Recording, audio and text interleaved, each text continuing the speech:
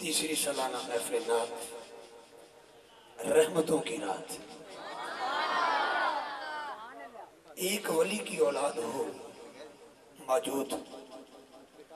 تو پوری کائنات اس رحمت کو سمیٹنے وہاں موجود ہوتی ہے۔ یہاں پر تو کئی آستانہ شریف جو ہیں، ان کے حسین، سجادہ نشین ہمارے درمیان تشریف فرما ہے۔ ابھی جب ناشی پڑی جا رہی تھی پیر طریقت فخر و سادات جگر گوشہ بطول۔ نواسہ رسول، گلے گلشن علی۔ مہینہ بھی ہے میرے پیر علی کا۔ پیر بولنے پر کنجوسی کرے تری اپنی مرضی ہے۔ جناب پیر سید آفتاب منشا یوسف شاہ گیلانی دامت برکات ان قدسیہ، اسے وزینت آستان آلیہ کوٹ خادم علی شاہ۔ شاہ جی قبلہ تشریف فرما ہوئے۔ دل کی اتھا گرائیوں سے، پوری بزم کی طرف سے، تمام اراکین کی طرف سے، آپ احباب کی طرف سے خوش آمدید کہتا ہوں۔ یہ لوگ جو اسٹیج کی زینت ہیں، فقیر کے تعارف کے محتاج نہیں۔ میں نام لوں، نام بھی لوں زہرہ کا بابا پھر بھی سبھی کو جانتا ہے۔ لیکن نام لینا اس لیے ضروری سمجھتا ہوں۔ نہ جانے آج کی رات کا دیا ہوا موقع میرے لیے بخشش کا بہانہ بن جائے۔ تو اس خوبصورت اسٹیج کی زینت، پیر طریقت، جناب پیر عبدالرزاق شاہ صاحب دامت برکات قدسیہ، زیب و زینت آستان علیہ بورے والا شریف تشریف فرما ہوئے۔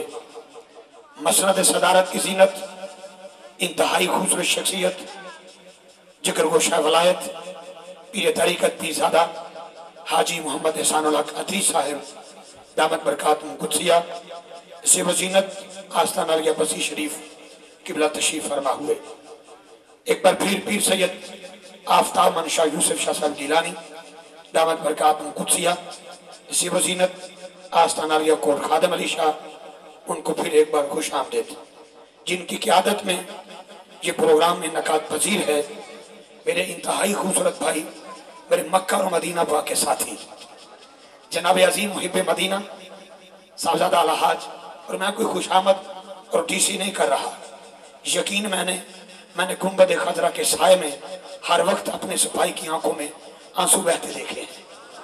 ملک محمد سعید الخیری صاحب، وہ اسٹیج کی زینت ہے ان کے علاوہ جتنے بھی احباب اسٹیج کی زینت ہیں، تمام احباب غلامان مصطفیٰ کو اس پہلے معصوم بچے سے لے کر اس بیڑے کے آخری سوار تک میں تمام کو خوش آمدید کہتا ہوں۔ جس ہستی کو میں آپ کی سماعتوں کے حوالے کر رہا ہوں، آپ کا نام نہ لوں، لوگ پھر بھی پہچانے۔ باد سبا کیا تو نے سنا؟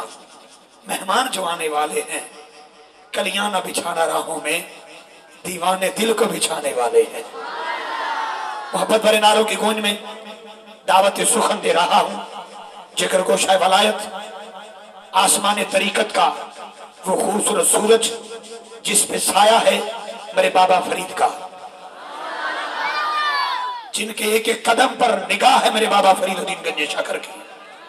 دعوت سخن، پیر طریقت، جگر گوشہ فاتح عیسائیت، حضرت علامہ، الحاج، پیر ڈاکٹر مفتی محمد مظہر فرید شاہ صاحب، دامت برکات قدسیہ، نائب محتمن جامعہ فریدیہ صاحبال شریف قبلہ سے گزارش کرتا ہوں کہ تشریف لائیں اور اپنی خوبصورت گفتگو سے ہمارے قلوب کو معطر و ممر فرمائیں۔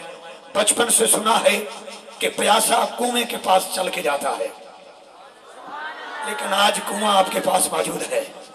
کون کون ہے بندہ جو پیاس بجھانے کے محبت بھرے انتظار میں تھا؟ اب وہ پیاس بجھنے کا وقت قریب تر ہے۔ وہ ہاتھ اٹھا کر استقبالیہ نعرہ لگائے گا۔ نعرہ تکبیر۔ نعرہ تکبیر۔ یا رسول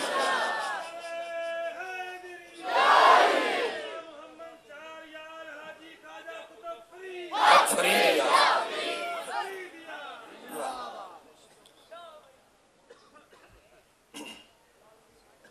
السلام علیکم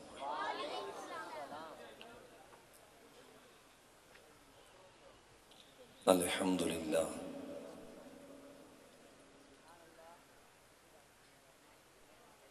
الحمد لله حمد الشاكرين. والصلاة والسلام على خاتم النبيين.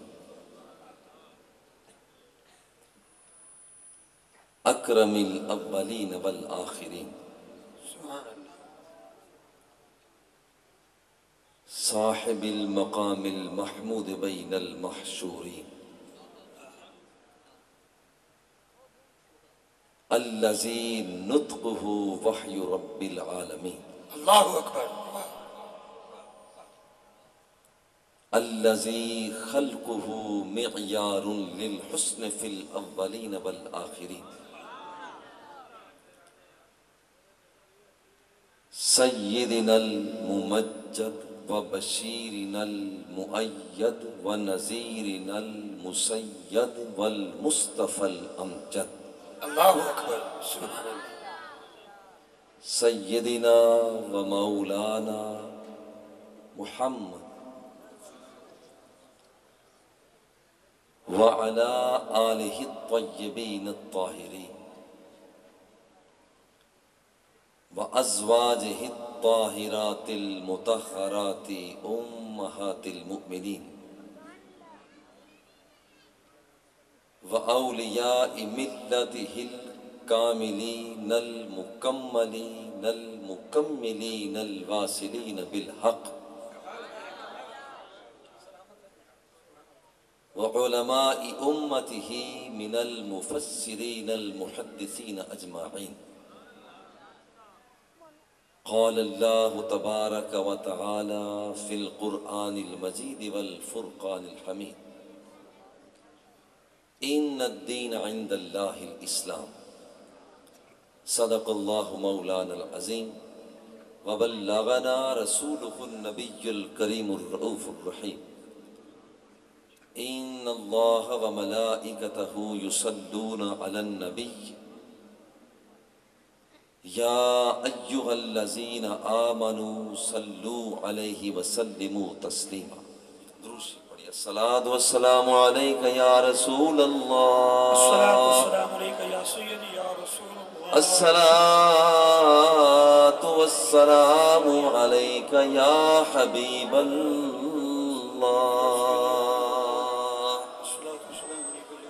الصلاة الصلاة والسلام عليك يا رحمة للعالمين.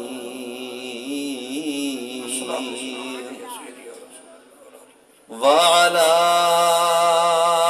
آلك وصحابك يا شفيع المذنبين. سبحان الله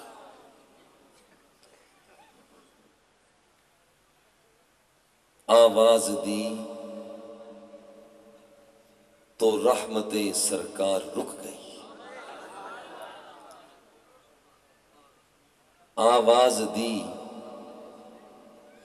تو رحمت سرکار رک گئی۔ جو دل پہ چل رہی تھی وہ تلوار رک گئی۔ صدقے یا رسول اللہ۔ سلامت جاتا ہوا وقار ملا ان کے نام سے۔ جاتا ہوا وقار ملا ان کے نام سے۔ سر سے گری تو ہاتھ پہ دستار رک گئی۔ ایک دائرہ سا ان کا میرے گرد کھینچ کر میرے تصورات کی پرکار رک گئی۔ جب ذہن سب بلندیاں تصویر کر چکا غار ہرا پہ رفعت افکار رک گئی۔ پابند روز و شب نہیں معراج مصطفیٰ۔ جب وہ چلے تو وقت کی رفتار تار رک گئی۔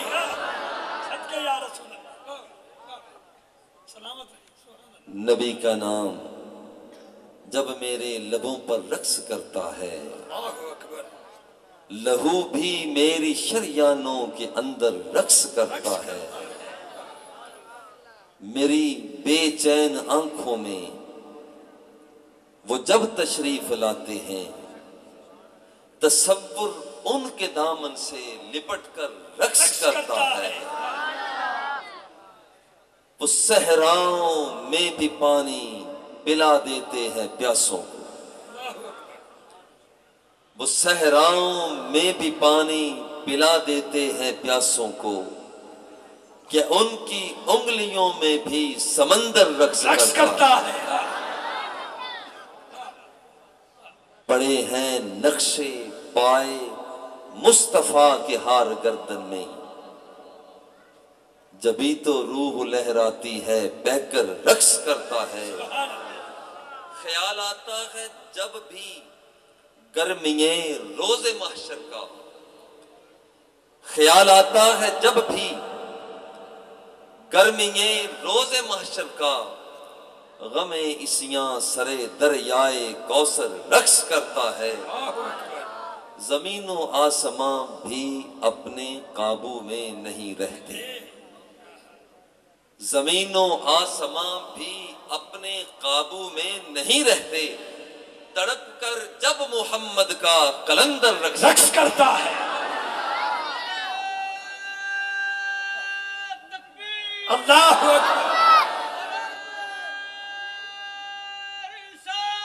یا رسول یا نبی یا نبی۔ اللہ رب العزت کی حمد و ثنا۔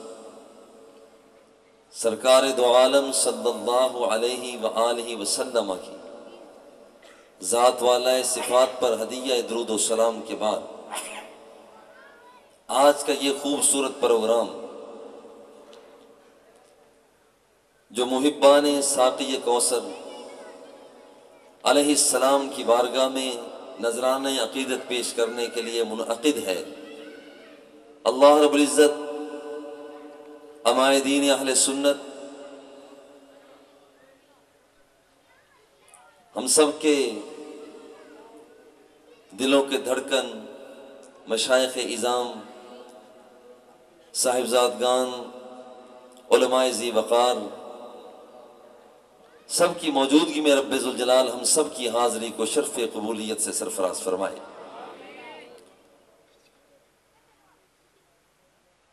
آج کے اس خوبصورت اجتماع کا عنوان دین کے حوالہ سے دین کیا ہے؟ لفظ دین تقریباً تیرہ معانی کے لیے استعمال ہوتا ہے۔ شیخ جرجانی سے جب پوچھا گیا کہ دین کسے کہتے ہیں آپ نے فرمایا، الدین اسم لما شرع اللہ تعالی لعباده لیتوسلوا به الى جوار اللہ۔ کوئی سفر کرتا ہے گاڑی کے ذریعہ، کوئی سفر کرتا ہے بحری جہاز کے ذریعہ، کوئی سفر کرتا ہے ہوائی جہاز کے ذریعہ۔ سواری اپنی کیفیت کے مطابق ایک مقام پہ جا کے رک جاتی ہے۔ جب پوچھا جائے سواری یہاں سے آگے تو جا سکتی نہیں ہے، وہ بتاتی ہے کہ میں بس یہیں تک پہنچ سکتی ہوں۔ سہارا لیا کار کا، وہ جا کر لاہور رک گئی۔ سہارا لیا ہوائی جہاز کا، ایک ملک سے دوسرے ملک میں جا کے رک گیا۔ سہارا لیا بحری جہاز کا وہ ایک پانی سے دوسرے پانی میں جا کر رک گیا۔ لیکن لطف کی بات یہ ہے کہ جس وقت دین اسلام کی سواری کا سہارا لیا جاتا ہے، تو یہ سواری نہ پاکستان میں رکتی ہے، نہ ایریٹیریا میں رکتی ہے، نہ قبرص یوگنڈا، فلپائن میں رکتی ہے، نہ آسمان اول پہ رکتی ہے، نہ آسمان ثانی پہ رکتی ہے۔ جب اس سواری کو لیا جاتا ہے تو یہ سواری بندے کو لے کر رب ذوالجلال کی بارگاہ تک پہنچا دیتی ہے۔ اللہ۔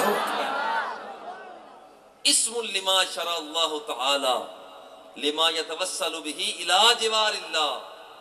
اے بندے جب تو دین اسلام کو ہاتھ میں لے لے گا تو پھر یقین کر لے تو کائنات کی وسعتیں تیرے قدموں کی دھول بن کے رہ جائیں گی۔ اور تو سیدھا رب ذو جلال کی بارگاہ تک رسائی حاصل کر لے گی شیخ عبداللہ دراز ذکر کرتے ہیں کہ دین کا مفہوم کیا ہے۔ فرماتے ہیں، الدین وضع الہی سائق لذوی العقول باعتقادهم المحمود الى صلاح الحال وفلاح المعالی۔ جب بندہ دین کی خدمت کرتا ہے، دین اسلام کے مطابق اپنی زندگی کو بسر کرتا ہے، تو اے بندہ خدا فرماتے ہیں کہ یہ دنیا بھی اس کی سمجھ جاتی ہے، آخرت میں بھی اس کو مقام مل جایا کرتا ہے۔ مگر یاد رکھیے کہ دین نام ہے اصولی عقائد کا۔ آدمی کہتا ہے آمن تو بلّہ مولا میں تجھ پر ایمان لایا۔ وہ ملا میں تیرے فرشتوں پر ایمان لایا۔ وہ ہی، میں تیری کتابوں پر ایمان لایا، تیرے سارے کے سارے رسولوں پر ایمان لایا، تیری ساری نازل شدہ کتابوں پر ایمان لایا۔ اے میرے اللہ، میں ایمان لایا۔ مگر ادھر سے تقاضا ہوتا ہے، ستاروں سے آگے جہاں اور بھی ہے۔ ابھی عشق کے امتحان اور بھی ہے۔ جب بندہ اس مقام تک پہنچتا ہے، تو پھر اس سے اصولی عبادات کا تقاضا کیا جاتا ہے۔ نماز ہے، روزہ ہے حج ہے، زکوٰۃ ہے، بندہ یہاں تک پہنچتا ہے، مگر ابھی اور بھی تقاضا کیا جاتا ہے۔ احسانیات کے اندر آجا بندے، مولا کیسے؟ رحان تعبد اللہ کا تراہ علم تکن تراہ فائن یرا کا اے بندے، جب رات کی تاریخی ہو جائے، دن کا اجالا ہو جائے، اللہ رب العزت کی بارگاہ ہمیں ہاتھ جوڑ کے کھڑا ہو اس انداز میں کھڑا ہو کہ تو جلوہ خدا کو دیکھ رہا ہو تیرا یہ مقام ہونا چاہیے۔ جب یہ تینوں درجات بندے کے مقام اس تک پہنچتا ہے، پھر بندے کا مقام اس سے اوپر چلتا ہے۔ اے بندے، تو نے عقائد کا دائرہ پورا کر لیا۔ عبادات، اصولی عبادات کا دائرہ تو نے مکمل کر لیا۔ اس کے بعد تو نے احسانیات کے دائرہ کو مکمل کر لیا۔ اب کیا مکمل ہو گیا۔ لیکن یاد رکھ کہ فقیر ہے، امیر ہے، سربراہ مملکت ہے۔ رب جلال تک پہنچنا چاہتا ہے۔ وہ دین کے گرد گھومتا ہے۔ کسی ولی سے پوچھو، دین کے گرد۔ اگر کسی مسلمان سے پوچھو، وہ دین کے گرد گھومتا ہے۔ آج دین تجھ سے پوچھتے ہیں کہ تیرا مقام کون سا ہے؟ تیری منزل کون سی ہے؟ تیرا محبت کون سا ہے؟ ساری کائنات وہ تیرے گرد گھومتی ہے۔ آج دین اگر مشخص ہو جائے، آج دین اگر متشکل ہو جائے، دین سے پوچھا جائے، دین تو بتا، تیرا مقام کیا ہے؟ تیرا منصب کیا ہے؟ تو جاتا کہاں پر ہے؟ آج ساری دنیا دین کے گرد گھومتی ہے۔ اے بندہ خدا، سارا دین آمینہ کے لال کے گرد گھوم رہا ہے۔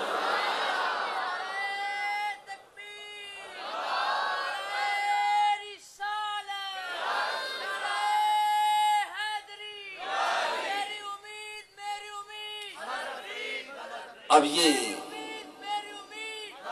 اب یہ بندہ اللہ رب العزت کی بارگاہ تک پہنچنا چاہتا ہے۔ وہ چاہتا ہے کہ میں اس کی بارگاہ تک پہنچوں۔ تو نماز پڑھ روزہ رکھ، حج دے زکات کا مگر یہ ساری چیزیں دین کے اندر شامل ہیں۔ یہ ابا جی کی دامت برکاتم العالیہ۔ آپ مکہ مکرمہ یونیورسٹی میں ایک لیکچر دے رہے تھے۔ وہاں پر ایک نوجوان نے سوال کیا، دین کیا ہے؟ اور ساتھ کہا کہ ایک جملے میں، مولانا بتائیے۔ ابا جی قبلہ فرماتے ہیں کہ میں نے اسے ایک جملہ کہا۔ الدین یدور حول النبی صلی اللہ علیہ وسلم کما یدور الحاج حول بیٹے، تو نے پوچھا دین کیا ہے؟ تو نے پوچھا اسلام کیا ہے؟ تو نے پوچھا، ایکان کیا ہے؟ سن کہ جس طرح حج کرنے والا بیت اللہ کے گرد گھومتا ہے، چکر لگاتا ہے، اسے حاجی کہا جاتا ہے۔ حج کرنے والا بیت اللہ کے گرد گھومتا ہے۔ بالکل اسی طرح سے سارے کا سارا دین آمینہ کے لال کے گرد گھومتا ہے۔ میرا نبی تلوار لے کر میدان میں آ جائے، دین بن جاتا ہے۔ میرا نبی نگاہ کو جھکا دے، وہ دین بن جاتا ہے۔ میرا نبی نگاہوں کو اٹھا دے، وہ دین بن جاتا ہے۔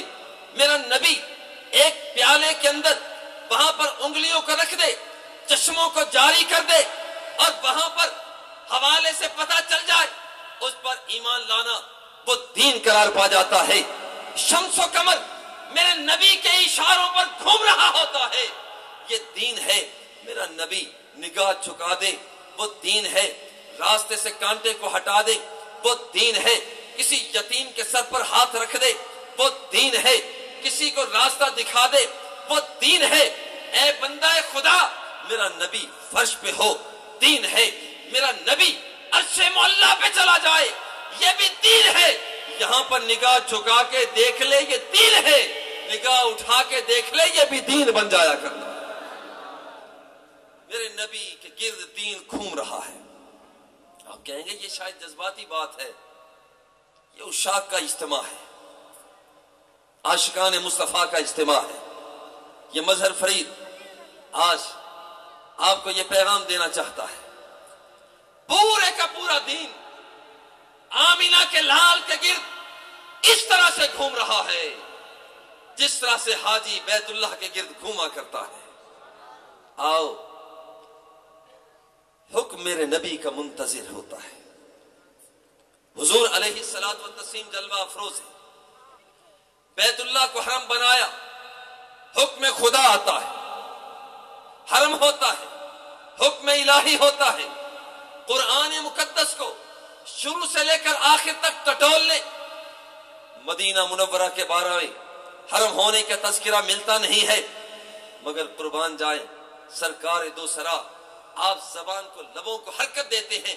فرماتے ہیں، او ہر ریمو ما بین لابتیہا فرماتے ہیں، دنیا والو، بیت اللہ کی سرزمین کو اللہ رب العزت نے حرم قرار دیا۔ مگر یاد رکھنا کہ اس کی عطا کے ساتھ میں مدینہ منورہ کو حرم قرار دے رہا۔ اور بات صرف یہاں تک نہیں، حضور علیہ السلاۃ و تسیم جلوہ افروز ہے۔ حضرت ابو بردہ جلوہ افروز ہوئے۔ حاضری دی۔ حضور، عید الاضحیٰ کی نماز پڑھنے سے پہلے ہی جانور کو ذبح کر چکا ہوں۔ فرمایا، اب دل مکانہ۔ اس کی جگہ جاؤ کوئی دوسرا جانور ذبح کرو۔ عرض کی، حضور، لیسا عندی الا جزعتم حضور، میرے پاس کوئی یہاں پر چیز نہیں ہے۔ موج میں جب آ گئے، قطرہ سے دریا کر دیا۔ پڑ گئی جس پر نظر بندے سے مولا کر دیا۔ فرمایا، جا جا۔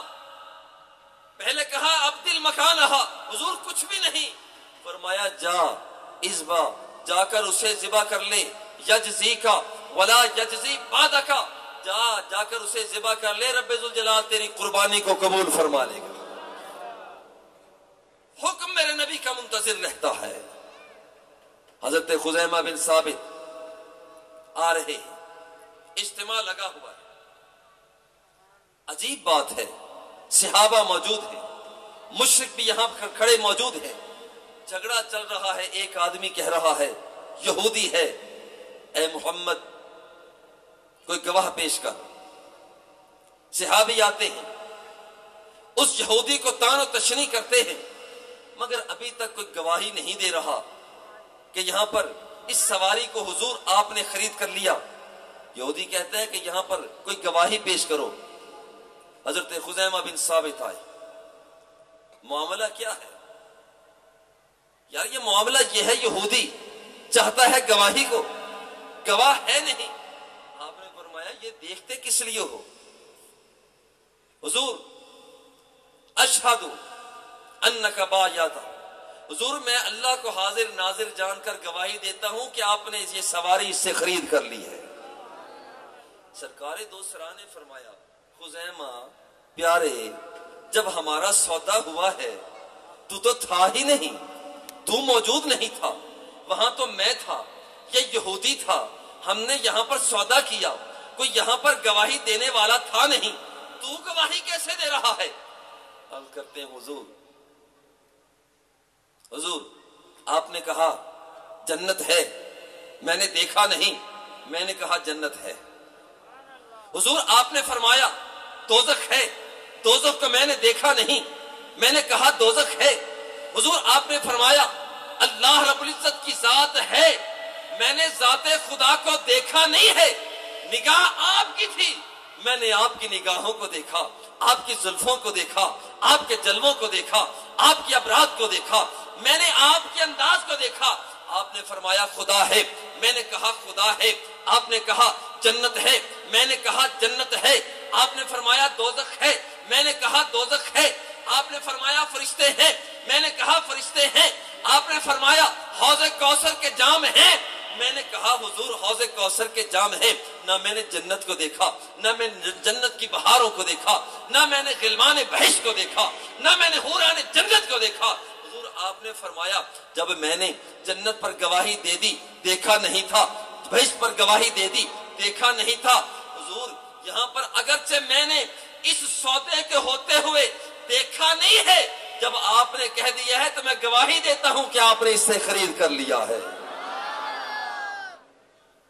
سرکار موج میں آ گئی۔ موج میں آ گئی۔ سرکار دو سرا نے ارشاد فرمایا کہ دنیا والوں سنو، سبھی کھڑے تھے، ابھی گواہی کسی نے نہ دی تھی۔ فرمایا کہ دیکھو کہ یہاں پر خزیمہ بن ثابت نے یہ بات کہی ہے، من شاہدہ لہو، وہ بندہ جس عدالت میں یہ میرا ثابت چلا جائے، یہ خزیمہ بن ثابت چلا جائے، عدالت آج کی ہو۔ عدالت بات کی ہو، موسم کیسا ہو، حالات کیسے ہوں؟ ادھر دو گواہ کھڑے ہوں، دو گواہوں کی گواہی قبول ہوا کرتی ہے۔ اگر ایک گواہ ہو، کوئی جج، کوئی کوئی شخص اسے قبول نہیں کرتا، مگر سرکار دو سرا فرماتے ہیں، اگر یہ تن تنہا کسی بھی عدالت میں جا کر یہ گواہی دے دے گا، تو میں آمینہ کا لال اس بات کی تصدیق کرتا ہوں، بندہ ایک ہوگا، گواہیاں دو شمار کر لی جائیں گی۔ اب یہاں پر حضور علیہ السلاط و تسیم فرماتے ہیں کہ گواہیاں دو ہوں، مگر یہ ایک بندہ بھی دو گواہیوں کے قائم مقام ثابت ہو رہے ہیں۔ لمحہ فکریہ ہے، ذرا سوچ تو صحیح۔ اے بندہ خدا، سونے کا استعمال حرام ہے، مگر حضور علیہ السلاط و تسیم تنگی کے حالات میں ہیں، سفر کر رہے ہیں۔ فرماتے ہیں سراکا کیفا بکا ازا لبستا، سوار ہے، کسرا۔ پر دیکھنے کے لیے تو یہاں پر کوئی کپڑے نہیں ہیں۔ دیکھنے کے لیے کھانے پینے کا معاشیات کا سامان نہیں ہے۔ سرکار پھر بھی فرماتے ہیں سراکا وہ دور کیسا ہوگا جب ہاتھ تیرے ہوں گے اور کنگن کسرا کے ہوں گے؟ ضرور بڑی عجیب بات ہے۔ مگر جب دور فاروقی آتا ہے مسجد نبوی شریف میں یہاں پر ڈھیر لگا ہوا ہے۔ اور یہاں ڈھیر لگا ہوا ہے، چیزیں موجود ہیں۔ مگر لطف کی بات یہ ہے سیدنا عمر فاروق رضی اللہ تعالی عنہ دائیں بائیں دیکھ رہے ہیں۔ حضور دیکھتے کیا ہیں؟ فرماتے ہیں، میں دیکھ رہا ہوں، میں اس بات کو ملاحظہ کر رہا ہوں کہ دیکھو سراکا کہاں ہے۔ آج میرے نبی کے گفتگو کی تعبیر ہونے لگی ہے۔ سونا پہنا دیا جاتا ہے، سارے فقی موجود ہیں۔ مگر کوئی نہیں کہتا کام حرام ہو رہا ہے، کوئی نہیں کہتا کام ناجائز ہو رہا ہے۔ سبھی کہتے ہیں کہ جب حضور نے فرما دیا ہے تو کام جائز ہو جایا کرتا۔ لمحہ فکریہ ہے، جس سے پتا یہ چلتا ہے کہ دین میرے نبی کے گرد گھومتا ہے۔ جب بندہ دین پر عمل کر لیتا ہے آج یہاں کتنا بڑا اجتماع ہے۔ محبان ساکی کوثر کے جوانوں نے، بڑا خوبصورت۔ حاجی احسان اللہ ادریس صاحب بھی جلوہ افروز ہے صاحبزادہ محمد آفتاب صاحب بھی جلوہ افروز ہے الخیری صاحب بھی تشریف فرما ہے برے والا سے بھی ہمارے محترم بھائی آئے۔ لیکن یہ جتنا بھی اجتماع ہے، ذرا غور کریں۔ مولا، جب دین مانے، کہیں آمن تو باللہ، تیری ذات پر ایمان لائے، نبیوں پر ایمان لائے، فرشتوں پر ایمان لائے، کتابوں پر ایمان لائے، نماز تیرے لیے، روزہ تیرے لیے، حج تیرے لیے زکات تیرے لیے، مولا، رات کی تاریخ کیوں مٹ کر؟ تجھے منانا تیرے لیے ہے۔ میرے اللہ تصویر تیرے لیے ہے، تحلیل تیرے لیے ہے۔ قیام کو تیرے لیے ہے؟ مولا، پھر تو دیتا کیا ہے اپنے بندوں کو؟ فرمایا، سنو، میں اپنے بندوں کو کیا دیتا ہوں؟ ان من عباد اللہ من لو اقسم علی اللہ لابرہ حضور فرماتے ہیں کہ جب بندہ اس کا ہو جاتا ہے تو وہ بندے کا ہو جایا کرتا ہے۔ رب فرماتا ہے، سرکار دو سرا فرماتے ہیں کہ رب الجلال حکم دیتا ہے اے میرے بندے تو نے صبح میرے نام پہ کر دی شام تو نے میرے نام پہ کر دی اپنی جلوتیں اور خلوتیں، جب تو نے میرے نام پہ کر دی، ان من عباد اللہ من لو اقسم علی اللہ لابرہ جب تو دین کا ہو گیا ہے، اب تو مانگتا چلا جا، لب تیرے ہلتے چلے جائیں گے، میں رب ہو کر تیری جھولی کو بھرتا چلا جاؤں وہ دیتا ہے۔ اور جو دیتا ہے تو کہاں تک دیتا ہے؟ الجامع صحیح البخاری الجامع صحیح المسلم کی روایت۔ حضور علیہ السلات و تسیم ارشاد فرماتے ہیں۔ اللہ رب العزت ارشاد فرماتا ہے۔ رب فرماتا ہے کہ میرا بندہ جب فرائض کی ادائیگی کرتا ہے، میرے قریب ہو جاتا ہے۔ جب نفلوں کی ادائیگی کرتا ہے، تو میں رب ہو کر اپنے بندے سے پیار کرنے لگ جاتا ہوں۔ فَإِذَا أَحْبَبْتُ فَأَكُونَ سَمَعَهُ الَّذِي يَسْمَعُ بِهِ وَبَصَرَهُ الَّذِي يَبْصُرُ بِهِ وَيَدَهُ الَّتِي يَبْتِشُ بِهَا وَرِجْلَهُ الَّذِي يَمْشِي بِهِ وَإِذَا سَأَلَنِي لَأُعْطِيَنَّهُ وَإِذَا اسْتَعَاذَنِي لَأُعِيذَنَّهُ اللہ رب العزت فرماتا ہے، میرا بندہ جب فرائض کی ادائیگی کرتا ہے، میرے قریب آ جاتا ہے، جب نفلوں کی ادائیگی کرتا ہے نوافل کو پڑھتا ہے تو میں رب ہو کر اپنے بندے سے پیار کرنے لگ جاتا ہوں۔ مولا جب تو پیار کرتا ہے تو پھر دیتا کیا ہے؟ وہ فرماتا ہے، جب میں بندے سے پیار کرتا ہوں، میری جلالت کا نور اس بندے کے کانوں میں سرایت کر جاتا ہے جس کے ساتھ وہ سنا کرتا ہے۔ میری جلالت کا نور اس کی آنکھوں میں سرایت کر جاتا ہے۔ کبھی وہ یہاں دیکھتا ہے کبھی وہ وہاں دیکھتا ہے، کبھی کونین میں دیکھتا ہے، کبھی کوسین میں دیکھتا ہے۔ پھر یہی وجہ ہے، جب میری جلالت کا نور اس کی آنکھوں میں سرایت کرتا ہے، تو وہ بندہ لوہے محفوظ پر چلتی ہوئی قلم کو بھی دیکھ لیا کرتا ہے۔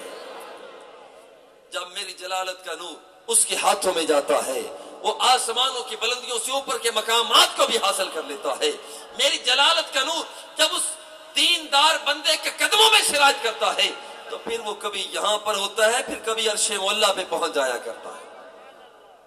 اذا سألنی لعوتینہو، میرا بندہ جب مجھ سے مانگتا ہے، میں اسے دیتا چلا جاتا ہوں۔ وَإِذَا اسْتَعَاذَنِي لَأُعِيذَنَّهُ، جب میرا بندہ مجھ سے پناہ مانگتا ہے، تو میں اسے پناہ عطا کر دیا کرتا ہوں۔ یہ کہ جب بندہ دین کا ہو جاتا ہے، تو رب ذوالجلال پھر اس بندے کا ہو جایا کرتا ہے۔ لیکن شرط یہی ہے کہ بندہ اس کا ہو جائے۔ ان من اشد امتی لی حب ناس یکون عبادی یود احدهم لو رآنی بی اہلہی و مالہی۔ مولا تیرا جلوہ دیکھنا چاہتے ہیں، مگر حکم ہوتا ہے، تو انسان ہے، میرے جلوے کو دیکھ سکتا نہیں ہے۔ تو انسان ہے، میری رانائیوں کو تک سکتا نہیں ہے۔ تو انسان ہے، تو سفلیات میں ہے۔ میرے حضور حاضر ہو، مگر تو مجھے دیکھ نہیں سکتا۔ مولا، پھر کیا کروں؟ تو پھر اس نے آستانہ بتا دیا۔ مجھ تک پہنچنا چاہتے ہو، تو آؤ، مدینے والی سرکار کی بارگاہ میں پہنچ جاؤ۔ یہاں سے تمہیں مصطفیٰ بھی مل جائے گا، یہاں سے تمہیں خدا بھی مل جائے گا۔ جب بندہ یہاں پہنچتا ہے، حضور فرماتے ہیں، پتہ ہے میرے ساتھ شدید محبت کون کرنے والا ہے؟ فرمایا کہ آنے والے زمانے میں جب لوگ آئیں گے ان من اشد امتی لی حبا ناس یکونون بعدی لا یود احدهم لو رآنی باہلہ و مالہ فرمایا، شدید محبت کرنے والا وہ بندہ ہے۔ جب آنے والے دور میں لوگوں کو نفسی نفسی کا عالم ہوگا، لوگ اپنے دھندوں میں پڑے ہوئے ہوں گے، لوگ کاروباری چکروں میں پڑے ہوئے ہوں گے، مگر وہ بندہ اٹھ اٹھ کر رب سے کہہ رہا ہوگا، میرے اللہ، جو تو نے مال مجھے دیا ہے